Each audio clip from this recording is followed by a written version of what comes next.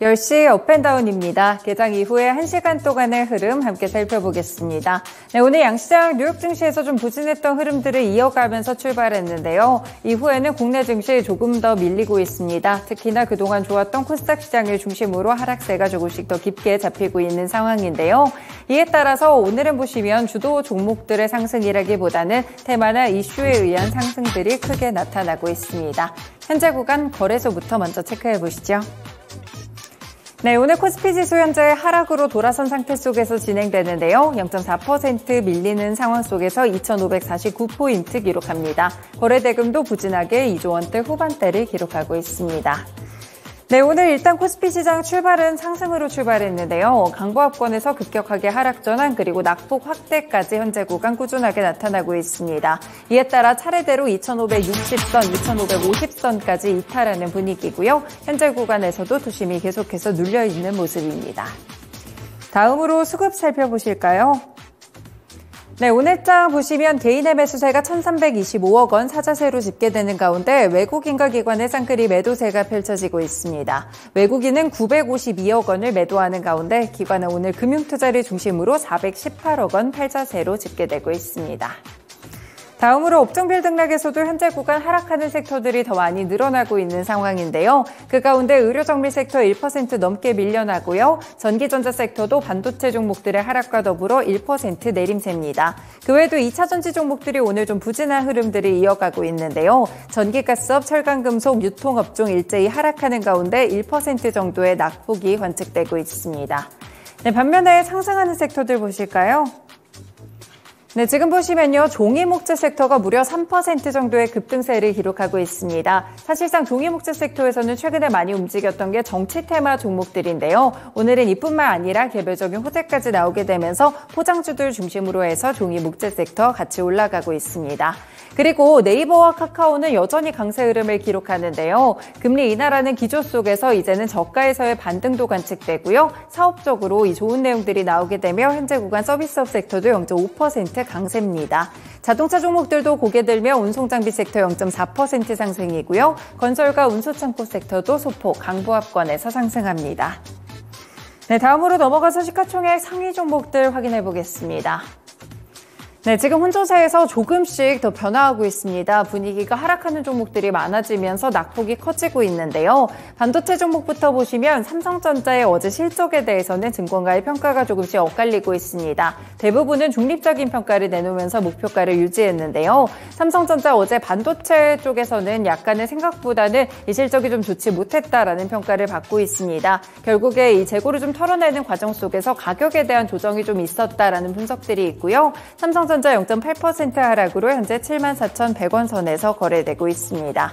네, SK하이닉스도 오늘 동반에서 2% 정도의 하락세를 가져가고 있는데요. 간밤에 엔비디아는 사상 최고치를 다시 한번 경신했지만 이와 다르게 SK하이닉스 2% 내림세로 13만 4,200원을 기록하고 있습니다.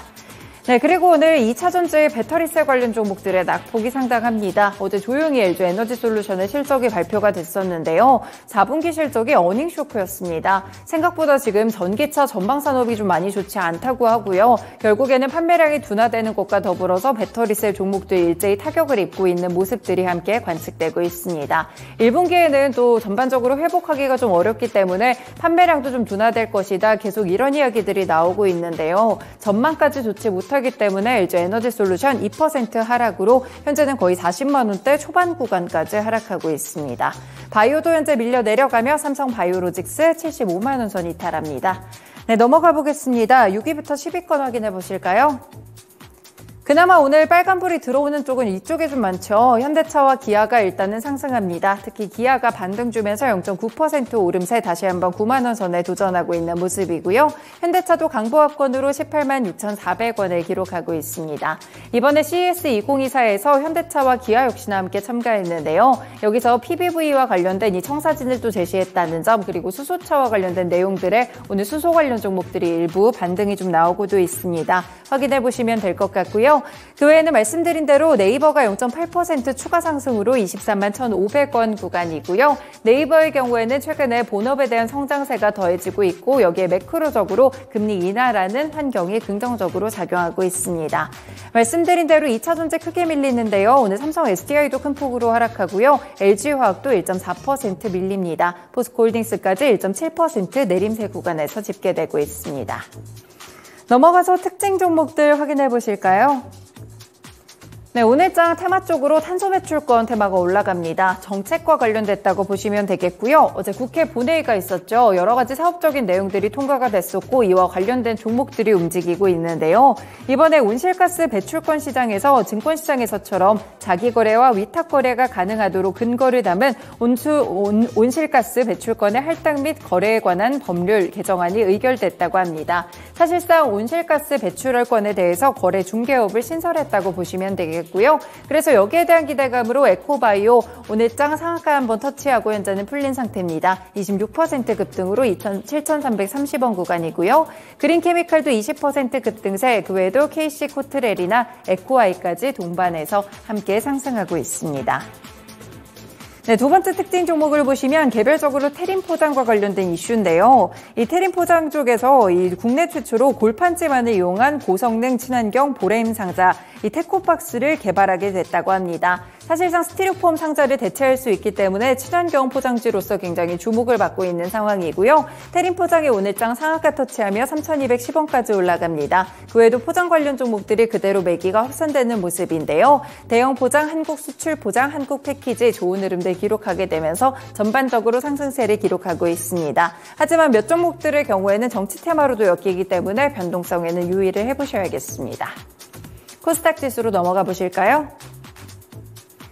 네, 현재 구간 코스닥 지수 더 많이 올라갔던 만큼 더 많이 밀립니다. 1% 이상의 하락세로 874포인트고요. 거래대금은 계속 또 코스피를 추월하고 있는데 현재 4조 원을 넘어서고 있습니다. 네, 오늘 코스닥 시장 출발 상황 보시면 하락으로 출발했습니다. 하지만 이후에는 낙폭이 더 크게 확대되는 모습으로 우하향 차트를 보여주고 있고요. 880선단에서 현재는 870선대 중반대에서 한 단계 정도 내려온 모습까지 확인됩니다. 수급 보실까요? 네, 지금 코스닥에서도 개인의 매수세만 2천억 원 가까이 매수세가 높아지고 있고요. 외국인과 기관의 쌍끌이 매도세입니다. 외국인은 1285억 원, 기관의 금융투자를 중심으로 600억 원 넘게 팔자세로 집계되고 있습니다. 네, 시가총액 상위 종목들 보시면 거의 전 종목이 하락하는 분위기인데요. 지금 2차 전지 배터리셀뿐 아니라 소재 종목들도 함께 타격을 받습니다.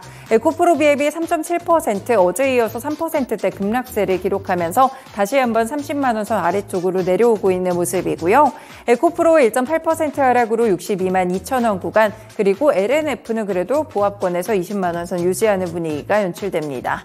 그 외 제약바이오 섹터들도 오늘은 수급적으로도 투심이 좀 같이 눌려 있는 모습인데 있는데요. 알테오젠이 1% 넘게 밀리며 91,800원, HLB도 동반 하락하고 있습니다.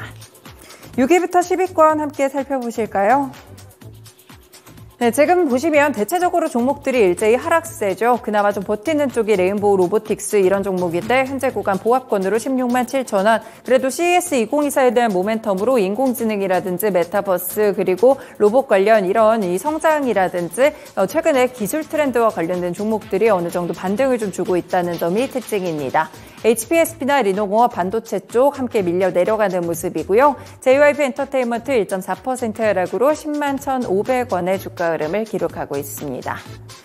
마지막으로 특징 종목 살펴보실까요? 네, 오늘 간방의 WTI도 반등했는데요. 관련해서 에너지 종목들의 상승세가 이어지고 있습니다. 현재 흥구 석유 8% 이상의 급등세, GNC 에너지도 8% 이상 오르고 있는데요. 다만 변동성은 좀 나타납니다. 지금 시장이 워낙 분위기가 좋지 않기 때문에 전반적으로 상승폭이 높았던 종목들도 탄력을 빠르게 준비 어, 줄여나가고 있다는 점 함께 확인해 보셔야 될 것 같고요.